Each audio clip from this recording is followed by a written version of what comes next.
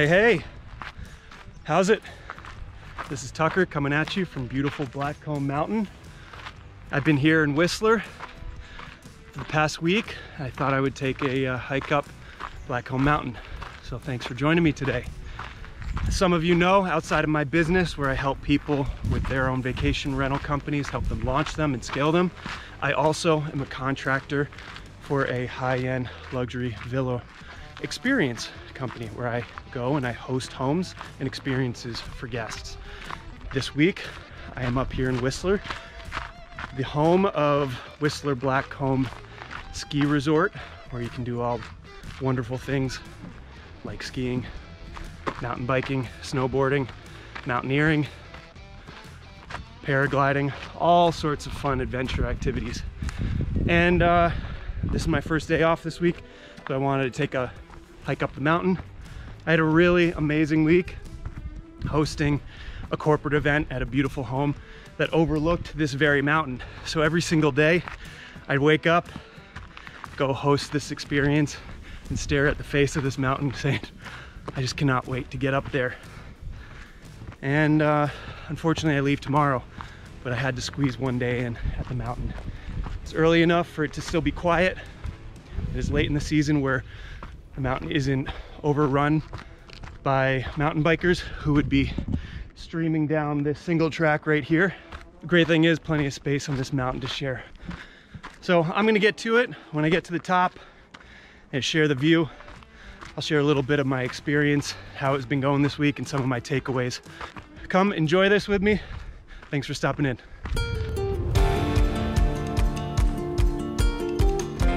Be bear aware.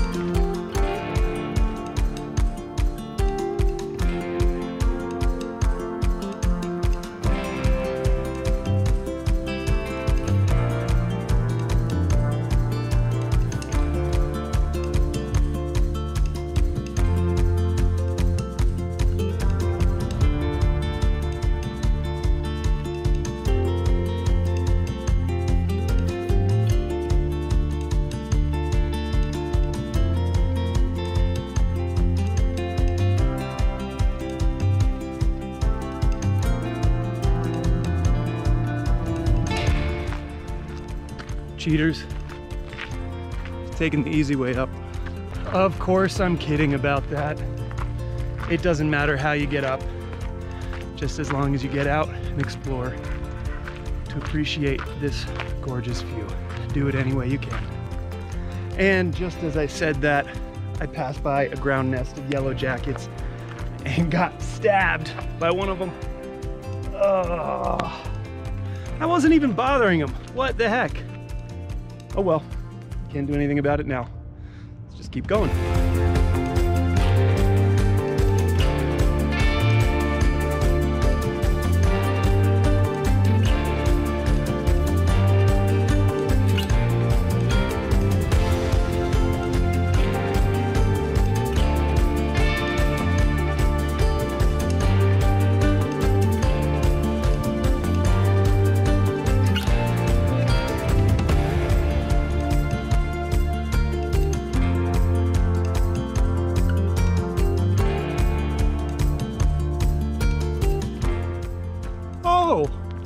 You look at that? It's the gondola and the summit. I won't be making it to the summit of Blackcomb today. It's a little far out of my reach. I'd say it's still worth the climb. Yeah, yeah, it's worth it. There you have it. That's the climb up to the top of the Blackcomb ski area.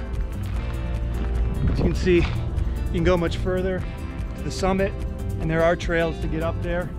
There are a little bit more mountaineering trails, but uh, that was the alpine hiking section. Feels good to get out today after working seven days straight. Yeah, this is the top of Blackcomb Mountain. Well, technically that's the summit, but this is the top of the ski area. And over there is Whistler. Behind me, you can see a marmot munching on some grass. The mountain of Whistler is named after the whistling marmots that, uh, that make these mountains their home and they have a high-pitched whistling screech that they call to each other. Maybe we'll hear one while we're up here. Behind me, I have the peak to peak tram, which goes from the Blackcomb Summit over to the Whistler Summit.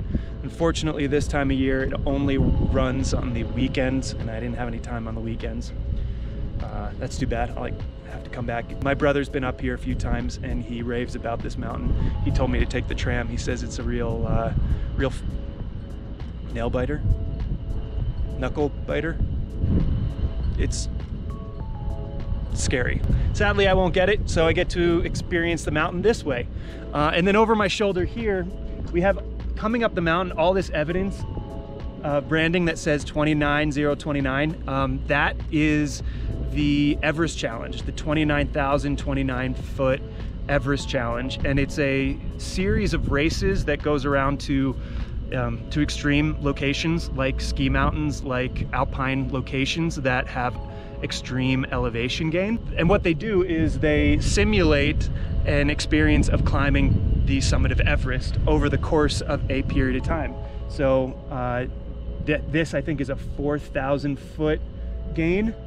Uh, so whatever 29,000 feet divided by 4,000 feet, say it's eight times, seven times. You climb this mountain seven times and you effectively climb the summit of Everest. So I've never done it, but it was cool coming up and doing one leg and seeing it. I've, I've heard about it for many years.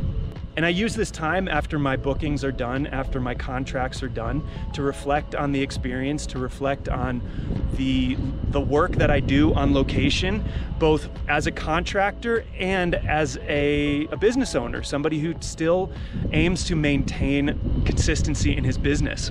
And a few of my takeaways from this week, just on this one, is to give myself grace for the work that I have to do on my own while I'm here. Usually when I'm on the ground, the days are long and it's hard work working with and for clients. So I I don't want to push myself too much by finishing a long day and then having to do four or five more hours late, late into the night of my own work. Uh, yes, I periodically have to do that, but I try and give myself a little bit of margin so that I can I don't burn myself out after the end of a trip, that I can see it through the end and still have a little energy and gas in my tank to feel like I can both enjoy myself while I'm here and still serve my clientele the way that they need to. And another takeaway that I like to reflect on and takes periodic reminding is uh, that these are not holidays. These are not vacations for me. And even though I get to come to amazing places like this, it is for work. And I have to remember that, that if I come here and I spend eight full days of long, hard days, and I feel like I'm this close to an amazing destination, that I am in heaven on earth. Let's rotate so you can see a little bit better background here. You can see the mountains off in the distance. That I can give myself the time that I have to do to do the work, and then also a day, maybe a day and a half to say, yes, now go appreciate it. If I have time in the evenings, I'll go for a local jog, I will go for a hike, I'll find a fun, a fun pub or a library or a cafe to hole up after work for maybe an hour or two. I give myself those times within the margin so that I don't feel like I'm that I'm coming here and losing uh, losing out on anything. But the priority for myself while I'm here is work. Oh, it's two of them. Yeah. They're pretty cute. And as long as I get into the mindset of that, I handle my time here pretty well, that I don't feel like I'm ever missing out, that it's okay, that I can still get a day, and then hopefully one day come back and experience the fullness of what it is. Uh, and the third is to hold on to my daily rhythms, my habits that I have. It is so easy when I am traveling for work to shut off all that stuff when I have my uh, my work schedule to to let that supersede my normal rhythms. So I fall out of my normal sleep patterns, especially if there's a time change. That means eating healthy. It means communicating regularly with the people that I care about. It means tracking my time and being responsive in my communication. It also means being present in the here and now so that I'm not getting ahead of myself of what I hope to be doing when I'm done or what I may have forgotten to do when I leave. All these things are, are habits and daily rhythms that I try and infuse in my day and can be easy to shut off when you're at a destination for work. it takes you away from your normal life. Also to give yourself a little bit of grace when you might be in a place that might have its own challenges, the unknowns of, uh, of a location. So yes, hold on to your habits, but also give yourself the grace regardless of what that might mean. So those are my three little takeaways that I just was reflecting on on my hike up here. So as I'm sitting here and sharing this with you, if you do happen to travel for work uh, and have any takeaways for how you continue in your habits, in your daily rhythms, uh, keeping yourself motivated and positive, maybe even connected with the people back home, I would love to hear about it. Drop a note in the comments below or send me an email, share your story and share your thoughts with me. I'm gonna be hopping on the gondola back down to the base of the mountain for some lunch. And thanks for joining me today. I'll catch you next time.